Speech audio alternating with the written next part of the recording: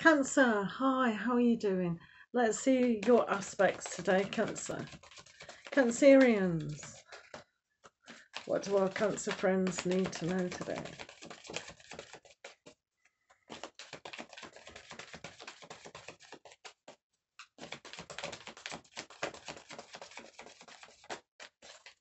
Okay.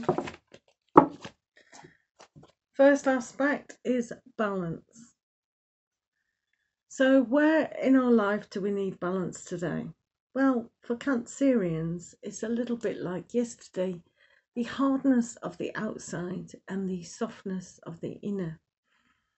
But there's also an aspect of staying where you are or going elsewhere.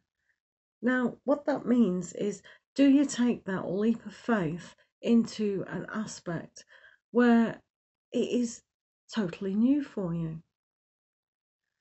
So sometimes balance is overwork and learning to just relax.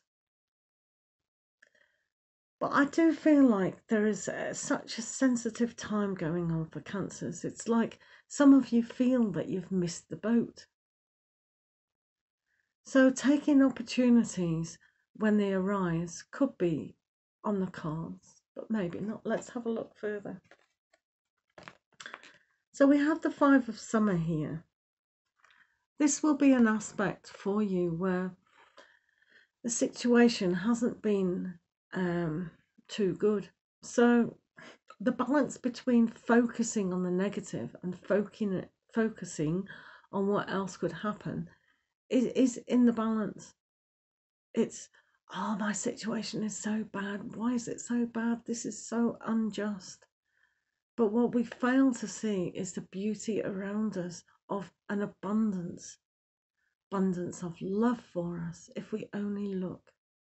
If we search not only inside ourselves, but we can move around quite quickly into situations when our emotions are calmer and maybe taking a neutral aspect to see what is in the future instead of looking too far in the past. So there you go, you've got the star. So the star is a great aspect where you can really nourish who you are, nourish your dreams, your hopes, and your faith. Some people lose faith in society and faith in the universe when it's it's really only behaving like it should.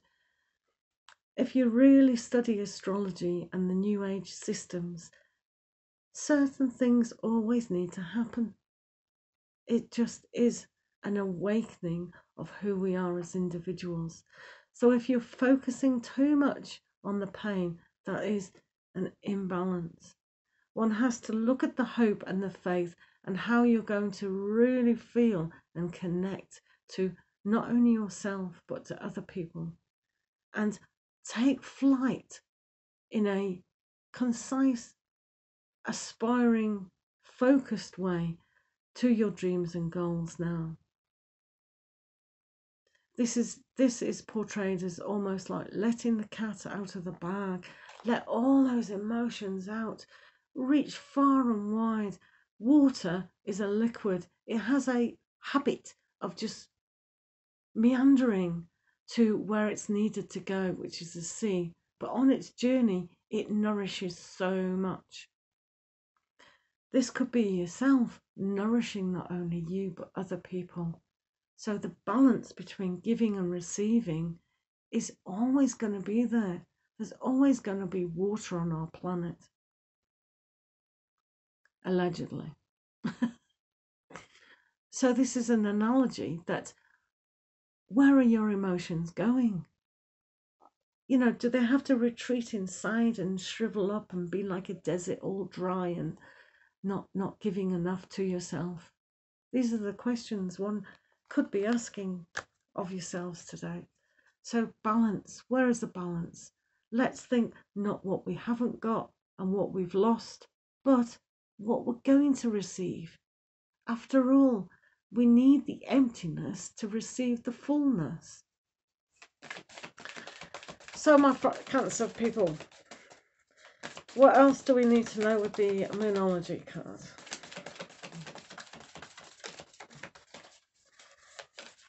Alrighty. Mm-hmm. There you go. That's what you needed, isn't it, Cancerians? A new start is coming. A new start is coming. So that this is good. So if if you actually find um, you are in particular pain and and you can't get out of it, find the balance, find the clarity to to kind of say, okay, that's happened. That's going to make me stronger now. And await the hope, the newness, the I'm going to wish for my dreams to come true because you can have it in abundance. Okay, Cancerians, thank you so much for listening and lots of love to you all. Take care.